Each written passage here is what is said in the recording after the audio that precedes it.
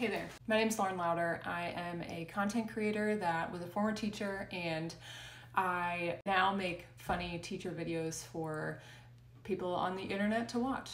Many of my videos come from real stories shared with me from current teachers, former teachers, um, future teachers, and I take those stories and I retell them in my own style, keeping everything uh, anonymous and mixing in my characters, you know, embellishing some things, making things, uh, adding some flair, if you will. Now, I have a disclaimer under my I'll Never Go Back videos in the caption. It's posted for everyone to see and to just give them a heads up. Here's what it says. If you share a story with me, okay, and unless you say something like, please don't share this, I'm just venting, please don't share this, at all. This is for your eyes only, however you want to state it.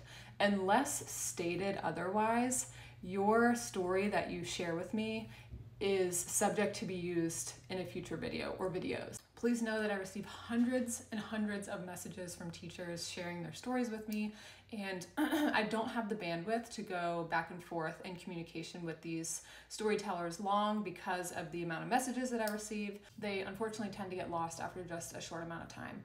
So please know that if you are sharing a story with me and you do not state otherwise, then you are giving me permission to share your story, whether that is in one video or if your story has a lot of information, can be broken up into a series of videos. Thank you to those of you who have shared your stories with me and have allowed me to share those on my platform.